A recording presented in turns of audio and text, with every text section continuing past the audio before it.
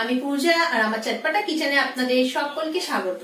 যারা এখন অবধি আমার চ্যানেল সাবস্ক্রাইব করেননি, ঝটপট আমার চ্যানেল সাবস্ক্রাইব করে দেবেন আর পাশে বেল আইকনে প্রেস করে দেবেন যাতে আমার রান্নার রেসিপি সবার আগে আপনাদের কাছে পৌঁছে যায়। আর হ্যাঁ বন্ধুরা, আমার রান্না ভালো লেগে থাকলে অবশ্যই আমাকে লাইক শেয়ার কমেন্ট করতে ভুলবেন না। চলুন তাহলে দেখে নিই আজকে আপনাদেরকে আমি কি বানিয়ে দেখাবো।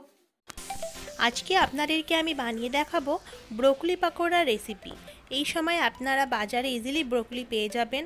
আর খুবই সিম্পলের রেসিপিটা এটা আপনারা সহজেই বাড়িতে বানিয়ে নিতে পারবেন।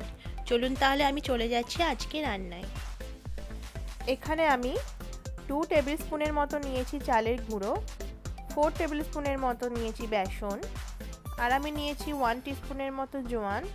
জোয়ানটা চাইলে আপনারা নাও দিতে পারেন। আর দিয়েছি হাফ টিস্পুনের মতো নুন। দিয়ে আমি অল্প জল দিয়ে আমি এটা ব্যাটারটা রেডি করব। ব্যাটারটা কিন্তু খুব ঠিকও হবে না আর খুব থিনও হবে না।